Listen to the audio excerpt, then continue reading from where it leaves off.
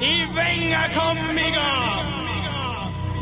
Vámonos al viaje para buscar los sonidos mágicos de Ecuador.